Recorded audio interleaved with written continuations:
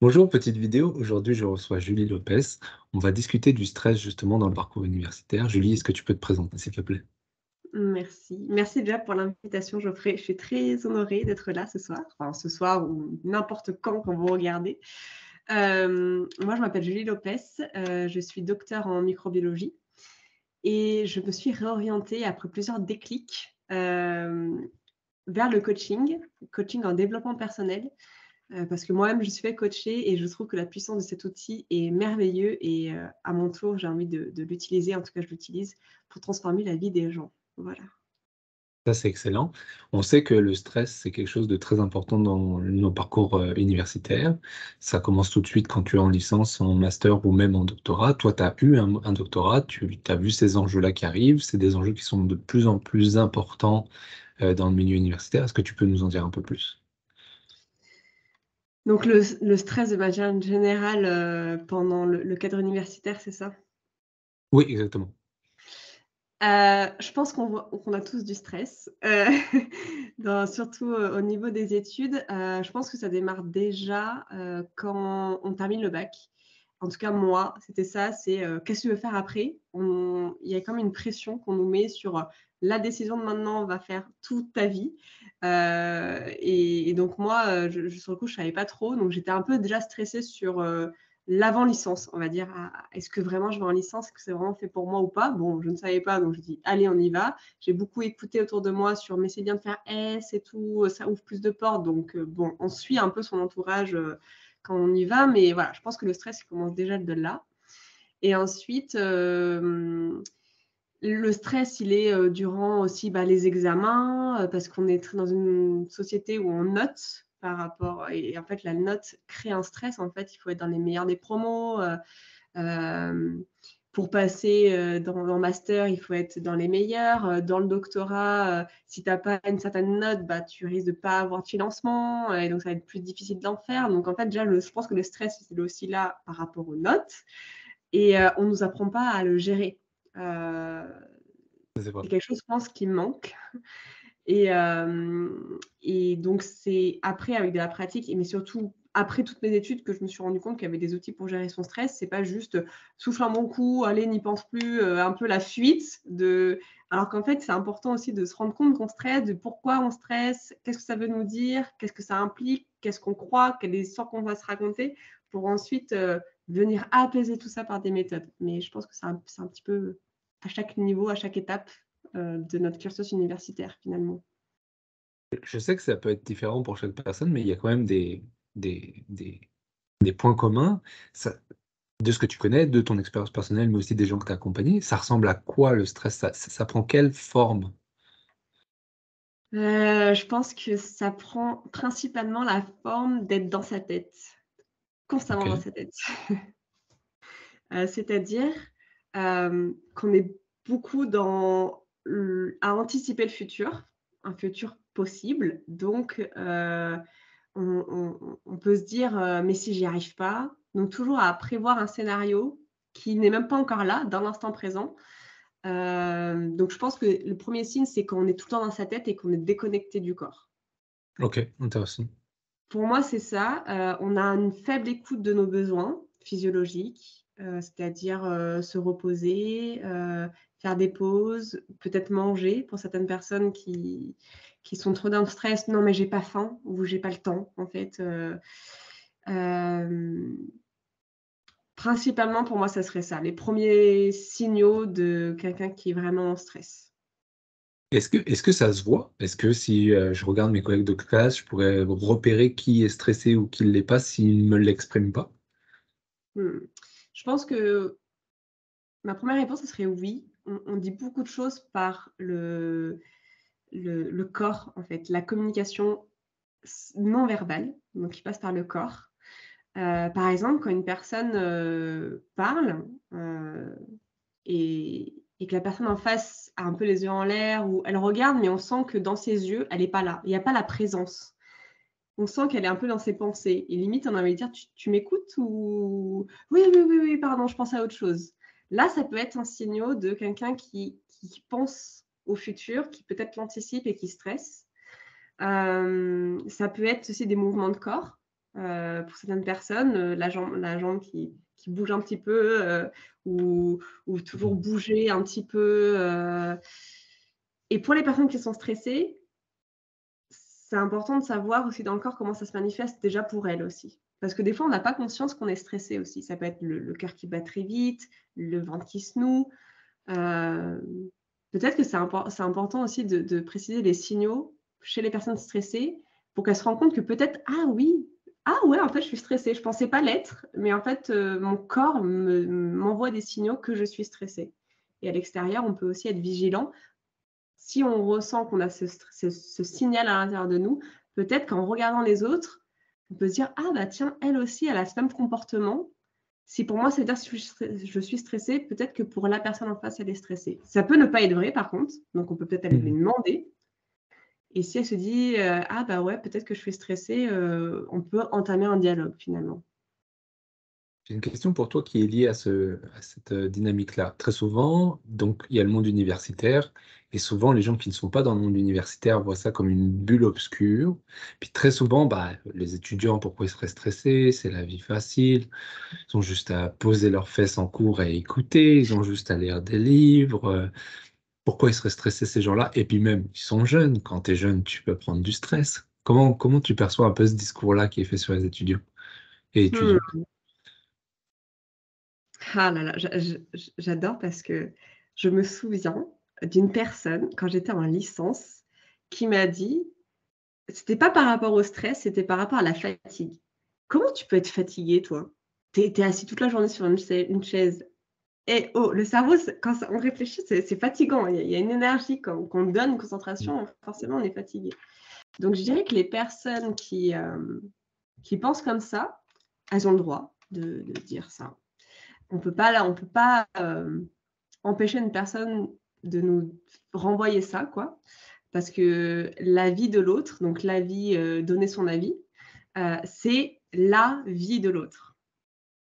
Hmm. C'est en gros, c'est sa vie, ça la concerne. Ça ne nous appartient pas. On ne va pas donner son pouvoir à une personne qui nous renvoie que peut-être que le stress, on ne devrait pas le ressentir, en tout cas, on n'est pas forcément légitime à le ressentir parce qu'on est étudiant ou quoi que ce soit. C'est sa vie.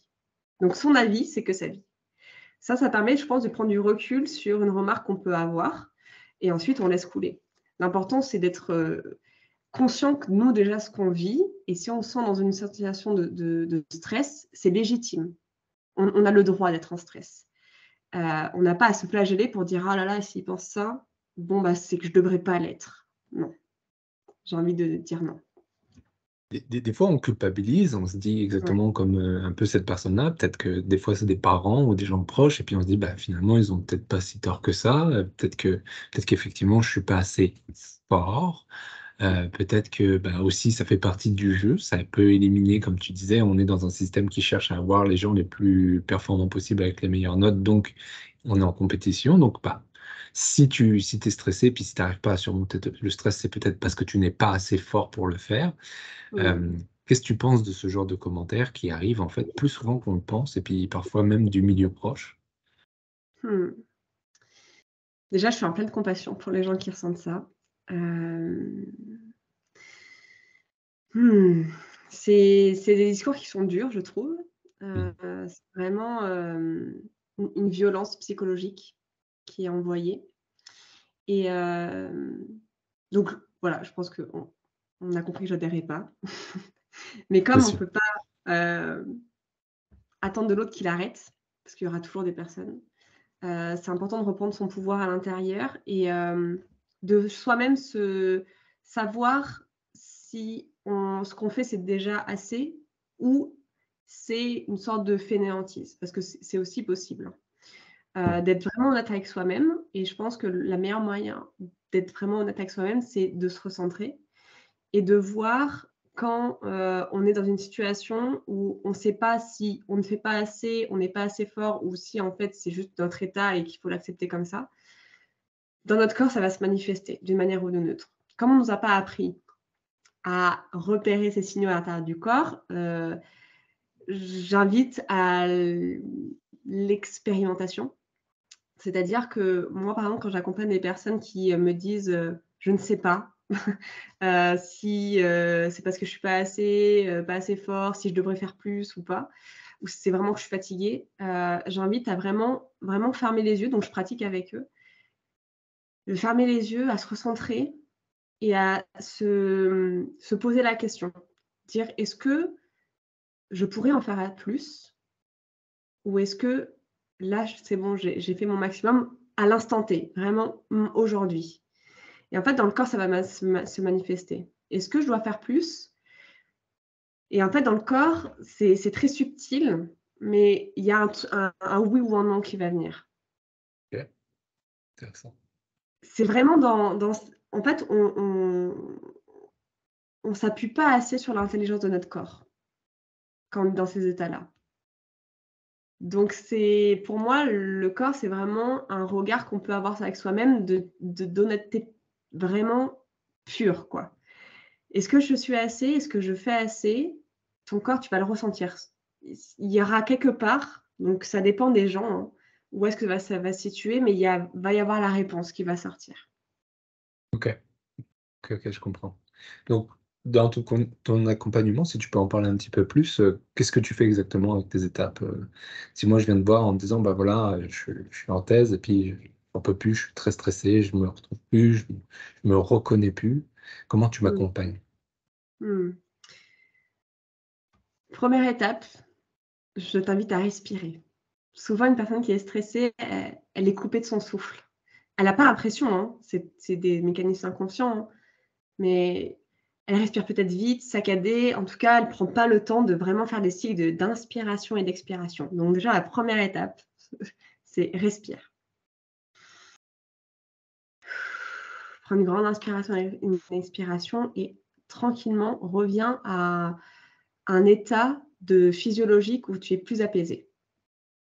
Ça permet à la personne de revenir à l'instant présent et à se faire du bien finalement. Souvent, la respiration, c'est très simple et pourtant, c'est très puissant. Donc déjà, première étape, je dirais respire. Ça va bien se passer, tu es en vie et c'est déjà magnifique. Ensuite, je lui apprendrai à hum, comprendre comment elle fonctionne.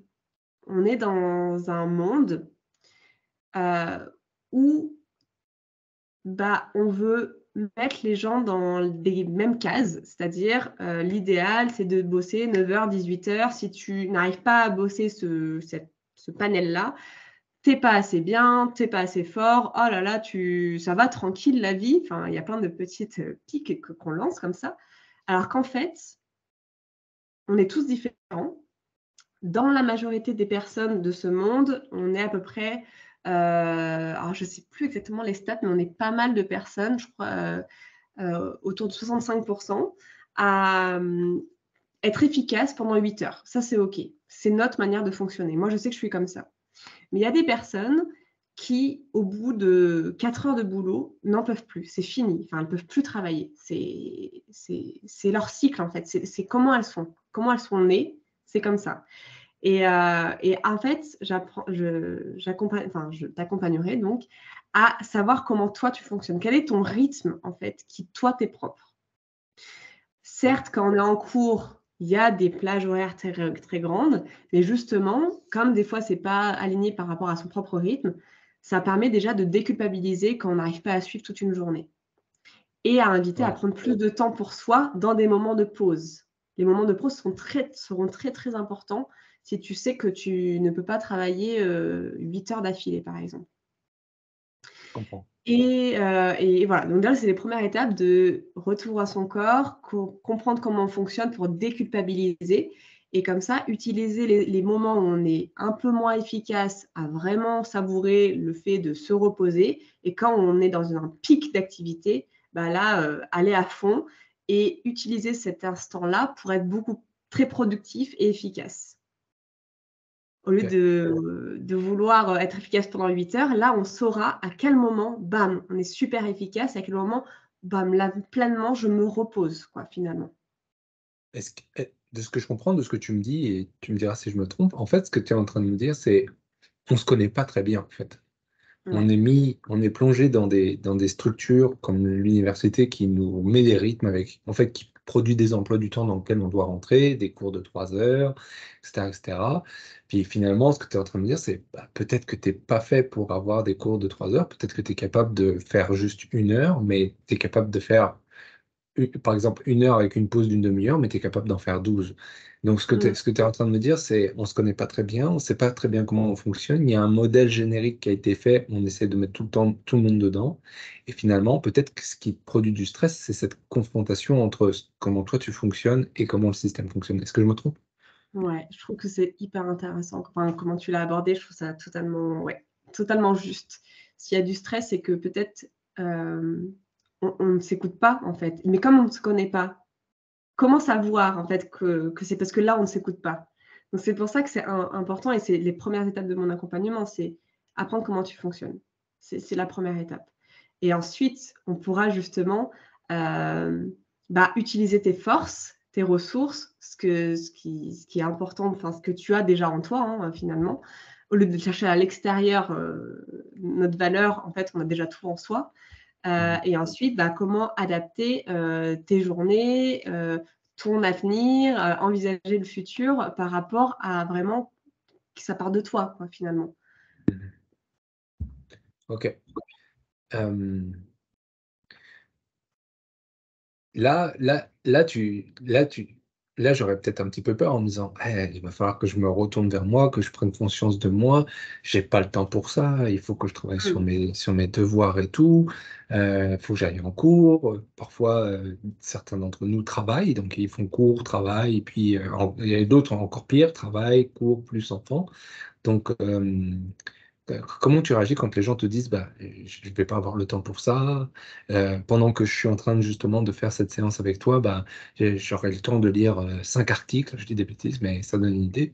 comment tu le vois et comment tu l'abordes? Parce que ça doit être des choses qui, qui, habitent les gens quand ils viennent te voir. Ouais.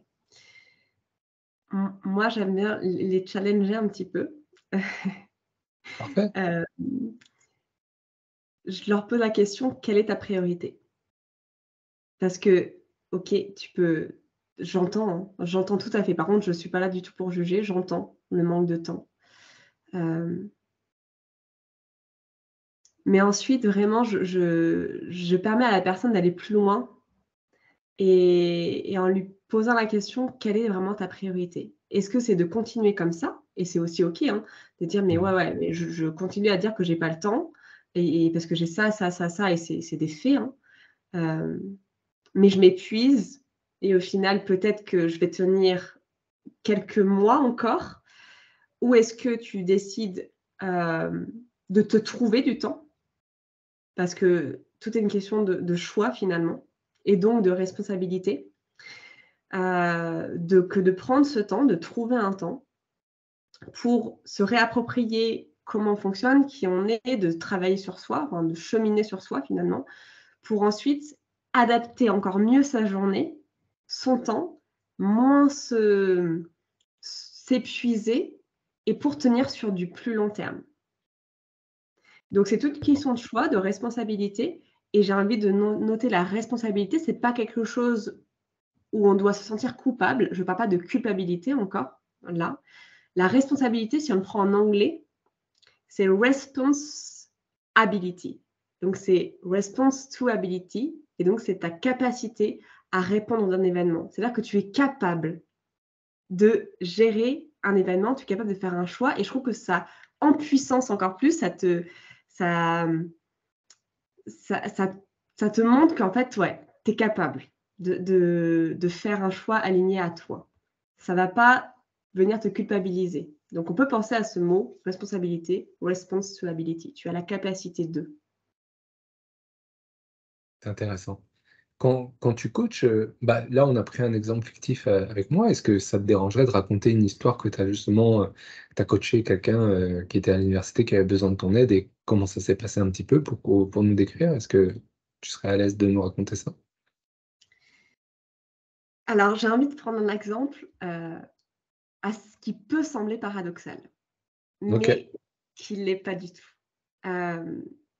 Actuellement, j'ai accompagné une doctorante euh, qui est en première année de thèse et euh, sa problématique, c'était qu'en fait, elle ne s'écoutait pas. Elle savait que euh, là, en prenant une certaine décision, elle allait à l'encontre de ce qu'elle, au fond, elle voulait faire, c'est-à-dire ne pas aller à, cet événement. Quoi. Euh, mais elle dit, mais quand même, et là, toutes ses pensées sont, il faudrait que, ça serait mieux que, voilà, il faut que je me force, il faut que j'y aille, etc. Ok, on est allé voir ça, donc euh, je l'ai coaché par rapport à ça. Qu'est-ce que ça veut dire euh, Si elle n'y va pas, quelle, histoire elle se raconte Si elle se dit qu'elle n'y va pas, ah ben on va moins m'aimer, etc. Je vais être moins validée, ça va pas être bien sur mon CV. Enfin, on se raconte euh, plein d'histoires. Donc j'ai dit ok, qu'est-ce que ça veut dire d'autre? Et souvent, on, va très très loin dans, le point. dans le coaching, c'est ça qui est beau. On va vraiment au fond des choses. Et donc on a sorti une croyance assez, assez folle qu'on allait déconstruire. Et en fait, une semaine après, elle m'a dit, écoute Julie, là, euh, j'ai pris une décision pour moi et je ne culpabilise pas de l'avoir prise. C'est une grande victoire. Je me suis mis en arrêt. Ok, Je me suis mis en arrêt. Et ça peut être dire, mais non, mais attends, mais j'ai pas le temps, je dois faire ça, ça, ça. Et pourtant, je me mets en arrêt. Euh, mais c'était une grande réussite pour elle, une grande célébration parce qu'en fait, elle s'était écoutée. Si elle avait forcé la corde, elle aurait fini en burn-out et quitte, elle aurait peut-être pas jamais terminé sa thèse. Là, le fait de, s'arrêter, de dire c'est bon, je suis allée voir le médecin, j'ai dit que j'allais pas bien, je me mets en arrêt pendant deux mmh. semaines et je ne culpabilise pas de m'arrêter, euh, ça fait du bien. Et je sais, pendant deux semaines, je vais prendre soin de moi. Et comme je vais prendre soin de moi, je vais recharger mes batteries et je vais pouvoir redonner de moi mais depuis un espace beaucoup plus apaisé qu'en étant euh, sous pression finalement. Et donc, j'adore cet exemple euh, que j'ai envie de, voilà, de partager là, elle m'est venue, euh, parce que je trouve que des fois, on peut penser qu'une décision ne va pas nous servir, alors qu'en fait, c'est peut-être la meilleure décision pour soi. Mais ça, ça demande de déconstruire certaines croyances, hein, par contre, en amont. lesquelles Est-ce que tu peux nous en parler un petit peu? Bah, Par exemple, la croyance de je, la principale, ah, il y a beaucoup de je ne vais pas être aimé. Mais ça, ça il y a plusieurs couches avant euh, qui peut être justement euh, je vais pas être, euh, on, va me juger. souvent, le jugement, ça veut dire que comment on me perçoit. j'ai besoin d'être une bonne personne. Souvent, il y a le syndrome du bon ou du bon, du bon élève, quoi. Je dois faire bien. Et, et, et, le final final, c'est mais si je ne fais pas ça, je ne peux pas être aimé. Et donc, je pose la question souvent, est-ce que c'est vraiment vrai? Est-ce que si tu fais ça, personne, plus personne ne va t'aimer? Bah non, quand même. Euh, en fait, euh, mon père, il va continuer à m'aimer, ma mère, va continuer à m'aimer. Enfin, des exemples comme ça. Bon, ok, c'est peut-être pas vrai, en fait, ce que je me dis. Ok, quelle autre histoire tu peux Voilà, et après, on continue comme ça. Je comprends. C'est drôle, ça me fait. Je rebondis un peu sur ce que tu dis, et en fait, ça me fait penser beaucoup au syndrome de l'imposteur c'est quelque chose qu'on voit énormément à l'université. Des, à un moment donné, de toute manière, dans ton parcours, tu te poses la question euh, euh, je ne mérite pas d'être là, je ne sais pas ce que je fais là, je n'ai pas les compétences, je ne suis pas assez bon, je ne suis pas assez euh, X ou Y. Donc ça rentre vraiment en écho avec ce que tu dis. Donc je trouve ça super intéressant que d'essayer de travailler ça parce que c'est un phénomène tellement commun. Et puis tout, c'est sûr que quand on est en groupe de collègues, de classe, de doctorat, de maîtrise et qu'on discute de ça, c'est sûr qu'on essaie de se rassurer les uns les autres. Mais quand tu commences à voir le nombre de personnes qui souffrent de ça, tu te dis quand même il y a quelque chose. Oui, oui, oui. Personnellement, si je peux donner un petit avis, c'est dans, l'écosystème dans lequel on vit où le, diplôme déjà est sur, enfin, pour moi, est, mis dans un Graal. Euh, donc, le diplôme te valide, alors qu'on a oublié de s'auto-valider d'abord soi-même. C'est pas un diplôme qui va nous valider. Il euh, y a plein de personnes qui ont les fameux diplômes et pourtant qui se sentent absolument pas légitimes, alors qu'en fait, ils sont quand même validés par l'État. Mais comme on ne nous a pas appris à s'auto-valider en, amont, en fait, on, on, ressentira toujours ce petit syndrome de l'imposteur. D'où l'importance de se connaître, de connaître nos mmh. valeurs, nos dons, nos compétences, euh, tout ce qu'en fait, des choses innées qu'on a déjà ou qu'on a acquises avec euh, des expériences ou, si on veut, des diplômes.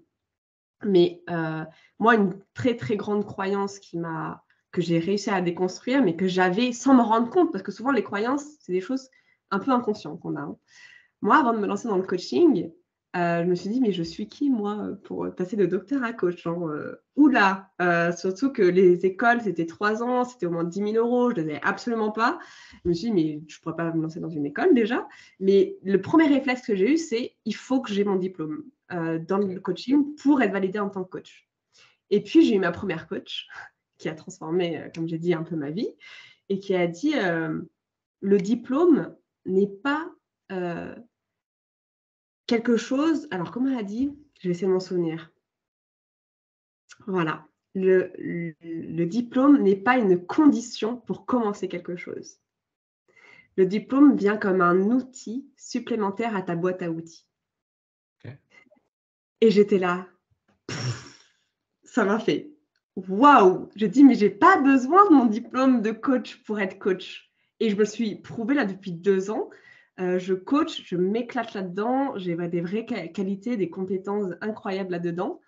Euh, je n'ai pas fait d'école. Par contre, ça n'a pas empêché que j'ai commencé et je me suis formée au fur et à mesure par des outils qui m'ont appelée. Parce qu'en commençant, j'ai senti que là, je me sentais appelée par cette formation, donc j'y suis allée. Parce que j'avais commencé à faire quelque chose. Donc, ça, je, ne dénigre pas le diplôme, je dis juste que ce n'est pas une condition pour commencer quelque chose qui est déjà en nous, en fait. Ouais. c'est super intéressant. Puis c'est bien aussi, comme tu dis, de, on est plus fort que ce qu'on pense en fait quelque part. On est euh, peut-être que justement ce stress, c'est ces histoires qu'on se raconte nous diminuent comparé à ce qu'on est capable de faire. Et comme tu dis, une fois qu'on est lancé dans le bain, bah finalement ça va. Oui. En fait, c'est souvent ça. Euh, le stress, il est créé parce qu'on a peur d'un futur qu'on anticipe parce qu'on se dit qu'on ne serait peut-être pas capable de le faire. Et en fait, le passage à l'action, je trouve que c'est hyper magnifique. C'est pour ça que dans mon accompagnement, à un moment donné, on passe à l'action quand même, parce que c'est bien d'avoir travaillé sur soi, d'avoir compris sa valeur, mais après, il faut passer à l'action. Euh, le passage à l'action, c'est un merveilleux, merveilleux, merveilleux moyen pour en se rendre compte que c'était pas si pire. en fait, je me suis inventé plein d'histoires euh, et ça m'a créé du stress. Mais finalement, une fois que je suis passée à l'action, je me rends compte qu'en fait, je suis capable. Et c'est chouette. Et en fait, j'apprends après. L'idée, c'est d'après de dire Attends, j'ai stressé. Et j'ai un exercice là-dessus qui est super. C'est que j'invite la personne à se remémorer, donc je peux le fournir ici, à se remémorer quelque chose, un événement qu'elle a traversé, qu'elle a vécu. Par exemple, moi, je prends l'exemple de ma thèse. OK, bah, de quoi je suis fière? Se ramener à un souvenir où on est fier. Donc, j'ai dit, bah, moi, je suis fière de ma thèse, d'avoir passé ma thèse. Est-ce que pendant ta thèse, tu étais 100% confiant? Ah, euh, pas du tout. Absolument pas. Hein. Je, stressais hein, beaucoup, beaucoup, beaucoup. OK. Et maintenant que tu l'as passé, bah, je, suis fière. Enfin, j'y suis arrivée, quoi. Ok, donc ça veut dire que maintenant, dans une situation maintenant où tu stresses, est-ce que tu vas y arriver ou pas? Bah oui, je l'ai déjà fait. Ok, ça ne veut pas dire que je, si je stresse, euh, ça ne veut pas dire que je ne vais pas y arriver. C'est juste un fait, c'est là. Mais se dire que se remémorer quelque chose où on a stressé, on y est arrivé, quand on stresse à instant T, on peut se rappeler ça pour dire non, mais je vais quand même y arriver. Enfin, ça ne va pas me bloquer, quoi. Je comprends. Donc ça, ça fait partie de ta boîte à outils. Ouais, il y a un exercice comme ça qui est très, très sympa à faire. Souvent, les personnes, sont là: «Ah ouais, mais c'est vrai», mais souvent on oublie, hein, enfin l'humain oublie très vite, hein, tout ce qu'il a traversé. Euh, mais en se remémorant des souvenirs comme ça, on se dit: «Non, mais là, OK, OK, je stresse, j'ai l'impression que je vais pas y arriver, mais j'ai déjà vécu cette expérience-là, j'y suis arrivée. Maintenant, c'est une expérience dont je suis hyper fière. Bon, potentiellement, là, ce que je vais traverser, dans quelques mois, quelques années, je vais être hyper fière aussi. Donc, euh, bon, autant y aller, quoi. Ouais.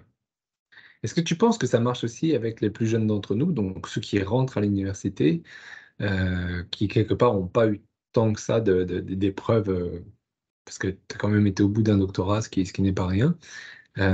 si moi je te dis, bah, je viens de commencer l'université entre autres, et je fais, bah, à part peut-être le bac et encore, ça s'est bien passé, je n'ai pas, pas, pas grand-chose qui m'ait beaucoup stressé comment tu pourrais un peu les guider ou les orienter dans ce genre de situation? Alors, je, dirais, euh, les guider pourquoi? Parce que s'ils sont pas stressés, on on va pas les stresser. Non, non, ils sont stressés, mais c'est juste qu'ils ont pas. En fait, ce que tu fais, c'est que tu vas chercher un étalon. Tu dis, bon, bah voilà, ça, ça, ça c'est le, Dans ton passé, tu as eu ce pic de stress-là qui est hyper important. Tu as passé ton, ta thèse de doctorat. Maintenant, tu te retrouves dans une nouvelle situation, il y a du stress aussi, mais c'est quoi comparé à celui-là? Mais quand tu es Euh, jeune, tu étais un peu chez tes parents, puis là, tu arrives à l'université, puis souvent, on est encore chez nos parents. Il n'y a pas eu encore de gros. Après, ça dépend des natures. là. Je ne veux pas mettre tout le monde dans, dans- dans le même panier, mais il y a... souvent, il n'y a pas eu de grosses épreuves euh, comme, comme ce que toi, tu as vécu.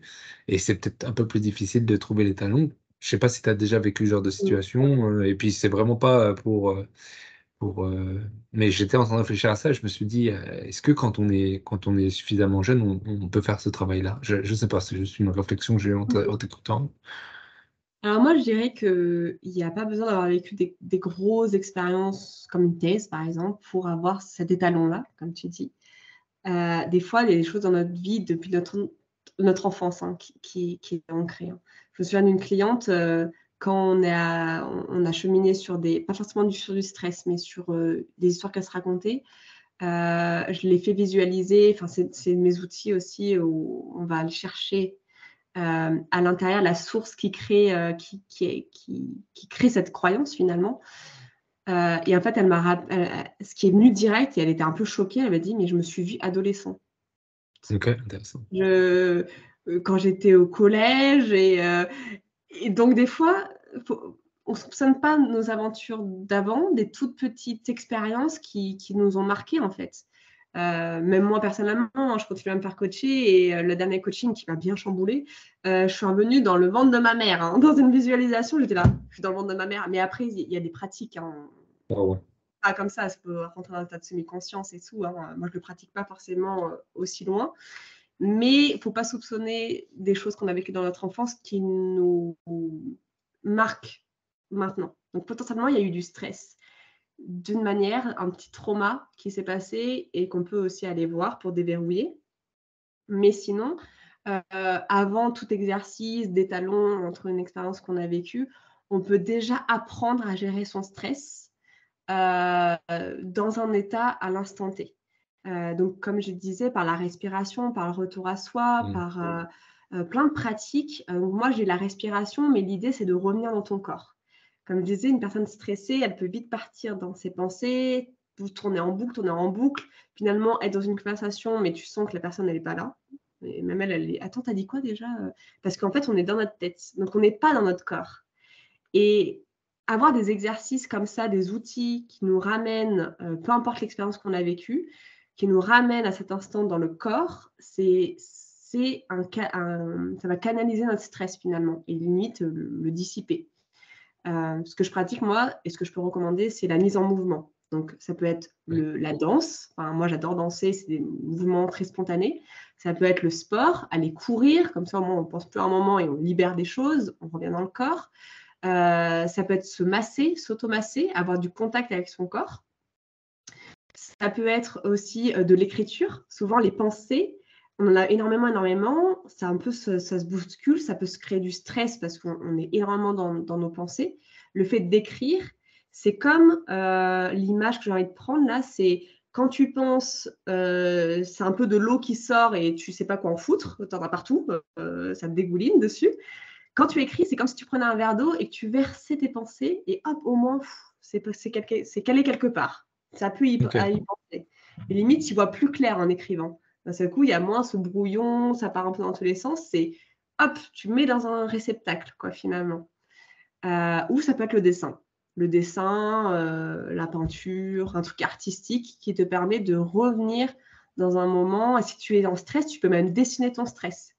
Prendre un Oh. stylo et gribouiller. Genre, Ah, j'en ai marre, et hop, tu gribouilles, et ensuite tu notes tout ce que tu as envie de déposer, dire t'en as marre de stresser, euh, euh, ces examens de merde. Enfin voilà, vraiment, il faut se lâcher pour faire sortir ce stress-là. Ok, je comprends. Donc, toi, tu donnes du coaching, mais aussi, et puis en fait, je te suis euh, beaucoup sur LinkedIn. Tu fais aussi des formations, tu fais des, des interventions. Je t'ai entendu dans un balado ou un podcast en français. Euh, non, c'est l'inverse. balado en français puis podcast en anglais. et donc, tu fais des ateliers. Est-ce que tu nous, peux nous parler un petit peu de ces ateliers? Oui, tout à fait. alors, moi, je fais des, ateliers pour les organismes universitaires, justement, pour les étudiants entrepreneurs et notamment les, aussi les doctorants. Peut-être potentiellement des masters un jour, si, ça arrive. et en fait, j'accompagne beaucoup sur la notion de légitimité, de posture, de confiance en soi notamment bah, quand on soutient, quand on va chercher un job, euh, comment on se tient, parce que ce qu'on va renvoyer à l'autre, c'est ce qu'on va vibrer à l'intérieur, ce qu'on va ressentir à l'intérieur. Si à l'intérieur, on sent qu'on est bancal, qu'on n'est pas sûr de soi, la personne à face, elle va le ressentir. Donc c'est important, euh, dans tous ces ateliers, le, fil conducteur de tous ces ateliers, à chaque fois, c'est il y a toujours un moment de retour à soi. Parce qu'en fait, on est notre propre véhicule et on est le conducteur de, notre véhicule. Donc en fait, il faut prendre soin de nous, euh, comprendre, euh, voilà, s'ancrer, soi-même se valider pour ensuite activer le moteur et avancer. quoi. Donc à chaque fois, peu importe le sujet finalement que j'aborde autour de ce sujet, toujours de développement personnel hein, par contre, euh, au service de, de, sa vie, quoi, professionnelle, personnelle je ramène toujours à un instant de visualisation, de retour à soi, de temps créatif, artistique. Et ensuite, on échange. Et le fait d'échanger, on va s'inspirer les uns les autres, finalement. C'est pour ça que j'appelle ça de la co-création, finalement, parce que moi, je donne une base, mais les gens, c'est en discutant que ça va permettre de rebondir, d'inspirer l'autre, de discuter. Et souvent, je ne suis pas là, moi, en tant que sachante et les personnes euh, écoutent. Ils sont vraiment acteurs les personnes qui sont dans les ateliers. C'est des acteurs. Même ceux que je fais en ligne, parce que je fais aussi pour les organismes, mais aussi pour les particuliers en ligne. Euh, et en fait, à chaque fois, hein, dans mes ateliers, c'est la personne, je donne un fil, mais aussi je pose des questions, je fais participer de deux à deux, euh, des groupes, il y a le bâton de parole au milieu, donc les gens peuvent prendre la parole. Et, euh, et chacun voilà, a son espace, a son temps et peut s'inspirer. Et ensuite, ça crée des contacts entre les gens aussi. Quoi. Oui, oui, ce qui est important, puisque c'est l'humain qui est, qui est peut-être au centre de tout ça. C'est vraiment, c'est vraiment intéressant euh, tout ça. Ça dure combien de temps à peu près un de tes ateliers? Euh, ça dépend le format, mais euh, j'aime bien faire une heure et demie. Je trouve qu'on a le temps de faire plein de choses en une heure et demie. Quand, il y a justement cette dynamique, euh, parce qu'après, c'est sûr que dans une entrevue comme on a aujourd'hui, c'est difficile de tout décrire et tout aborder, mais peut-être qu'on se refera une autre discussion là-dessus. Moi, ce que je trouve intéressant dans tout ce que tu dis, c'est quand tu dis reconnecter les gens à soi, reconnecter les gens les uns avec les autres, comprendre aussi qu'on n'est pas seul dans, la, dans cette situation-là. Euh, puis si je comprends bien aussi, si tu existes, c'est parce qu'il y a beaucoup de gens qui se sentent euh, non légitimes, même quand ils sont diplômés, même quand, euh, bah, quand tu as fait une thèse, ça fait 3, 4, parfois 7 ans que tu travailles sur cette thèse, donc en théorie, tu es un expert. Mmh et justement, comme tu as eu, tu commences à avoir de plus en plus d'expérience avec les échanges, d'après toi, on disait que c'était la déconnexion entre le, corps et l'esprit, entre guillemets, c'est comme ça comment je comprends. Comment ça se fait que c'est aussi récurrent en fait? Là, tu poses un gros sujet. Ah, ok. Pour moi, mais encore une fois, c'est ma vérité, donc vous prenez si ça vous parle. Pour moi, c'est un effet sociétal. Ok. C'est clairement. Ah, ça va être particulier ce que je vais dire, mais je trouve que c'est important. C'est vraiment, c'est, vraiment au cœur de ma vision et de ma mission euh, de parler de ça. C'est. Euh, on a été éduqués pour moi, en nous enlevant notre pouvoir. Parce que si chaque personne avait sa puissance, avait conscience de la puissance de l'être qu'il est, ça ferait très peur aux gens qui nous gouvernent. Pour moi, c'est ça. Et donc, on nous a beaucoup appris, éduqués à se taire, à se faire petit, euh, parce que si quelqu'un a trop confiance, on peut avoir tendance à dire ah, ça va, il se la pète, lui. Hein. Et donc, il va être jugé. Donc, on dit non, mais moi, je veux, quelqu'un, je veux être quelqu'un de bien, donc je préfère me faire petit, me sacrifier pour les autres. Regardez comment je suis bonne, je suis bon, je donne, je donne en m'oubliant. Donc il y a vraiment un... Pour moi, on nous a enlevé notre puissance, mais ce qui est chouette, c'est que on peut la récupérer. elle est là, quoi. Elle est toujours là. Il y a toujours ce petit feu euh, à l'intérieur de nous qui ne demande qu'à être un peu attisé pour briller, rayonner. Et l'idée, c'est pas de je rayonne pour brûler les autres, pour, euh, pour me la péter, etc. C'est je rayonne pour donner envie à l'autre de rayonner aussi. Et qu'on s'entraîne là-dedans tous ensemble, quoi. Et qu'on soit tous puissants les uns les autres, etc. Mais voilà un peu ma vision des choses. Après, on pourrait l'aborder, comme, comme tu as dit, dans un autre live, parce que ça demande, je pense, pas mal aussi d'échanges, de débats. Je n'ai pas la vérité absolue. C'est vraiment moi ce que je ressens. Euh, c'est qu'on nous éteint pour mieux nous contrôler un peu. Et euh, alors, parce qu'en fait, si chacun se dévoile à sa hauteur, je pense que ça, ça, embêterait pas mal de personnes, à mon sens. Je comprends, je comprends. En cas, c'est super intéressant. Puis j'aime ça, cette idée. Euh, puis je pense que les Anglais utilisent déjà le empowerment, le fait de récupérer du, du, pouvoir. Euh, un peu ça... j'ai dit empuissancement, moi. Voilà, c'est. Empuissancement, mais c'est c'est beau, c'est beau comme terme de récupérer sa puissance. Je trouve ça, je trouve, je trouve que c'est une avenue intéressante. Puis, puis c'est ça, comme tu dis, finalement, beaucoup de ressources sont en nous. Il faut aller mmh. justement récupérer euh, cette flamme qui est en nous. En tout cas, c'était super intéressant, Julie. Euh, merci d'avoir échangé avec moi sur ce, sur ce sujet-là.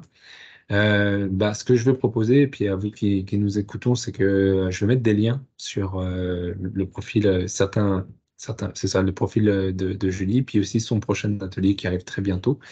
Donc comme ça, vous pourrez aller euh, vous inscrire et puis participer à tout ça. Donc encore merci Julie pour, euh, pour ton temps. Bah, merci, merci à toi, vraiment, ça m'a fait très plaisir. On a parlé de, beaux sujets et ouais, ça me, fait, ça me fait vibrer, moi j'adore ça, ça, Et, et ouais, si, si, vraiment, moi je suis, je suis pour l'échange, l'échange humain. Donc, euh, si euh, pour les personnes qui écoutent, si vous voulez juste euh, échanger sur la problématique du stress, mais toute autre chose sur, sur votre vie, on, peut totalement échanger. Moi, je fais des appels gratuits pour, pour parler. si je peux vous aider sur le moment, bah, je, le fais avec grand plaisir. Et s'il y a besoin d'être accompagné un peu plus loin, bah, moi, c'est des espaces qui me nourrissent aussi, une co-création que j'adore. Et voilà, si je peux aider à transformer les mondes intérieurs pour un monde extérieur plus, plus beau, harmonieux, euh, dans l'inclusion. Enfin bref, moi je, je, dis oui. Donc si vous voulez dire oui avec moi, il n'y a pas de souci. C'est un très beau message de fin, en tout cas. Merci beaucoup, Geoffrey, en tout cas. Merci, Julie.